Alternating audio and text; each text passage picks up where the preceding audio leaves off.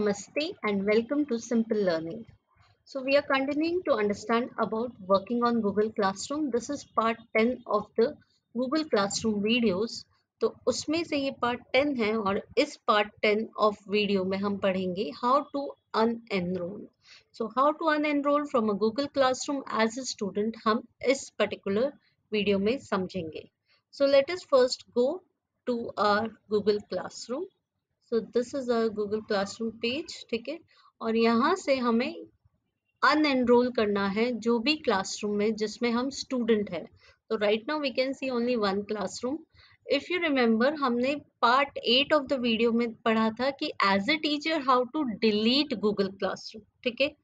यहाँ पे हम पढ़ रहे हैं as a student so student कभी भी डिलीट नहीं कर सकता है Google Classroom because that is that right is given to the teacher whereas teacher student can always unenroll जब आपको लग रहा है कि आपका काम हो गया है related to that Google Classroom then you can surely unenroll with the permission of your teacher fine तो अनएनरोल कैसे करते हैं? Let us see as a student over here, these three dots, we are going to use it for unenrolling ourselves.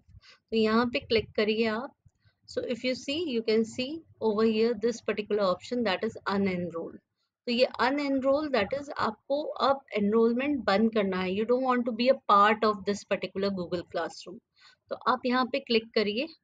ये particular notification आएगा कि you will be remove from this class all the files will remain in Google drive तो ये classroom के जो भी file folders आपको मिले हैं, आपने दिए हैं टीचर को सबमिट किए हैं assignments all the file folders are surely attach to your Google drive तो वो सब रहेंगे। बाकी आप ये क्लासरूम से रिमूव हो जाओगे, ठीक है? टिल द टाइम टीचर के साथ आप वापस गूगल क्लासरूम कोड मांगेंगे और वापस रीजॉइन करना चाहेंगे तो वो अलग चीज़ है। For time being since you are unenrolling तो आप अनएनरोल हो जाएँगे। आपके यहाँ से ये क्लासरूम हट जाएगा। So let us click on unenroll you feel कि आपने वो क्लासरूम से रिलेटेड ऑल एक्टिविटीज़ कर ली है and you have taken the permission from your teacher to unenroll so now let us click so as soon as you click see over here आपका वो Google classroom हट गया है। You you are not a part of that Google Classroom anymore. Fine. So this is what we have studied in this particular presentation. That is key as a student, how to unenroll from a Google Classroom.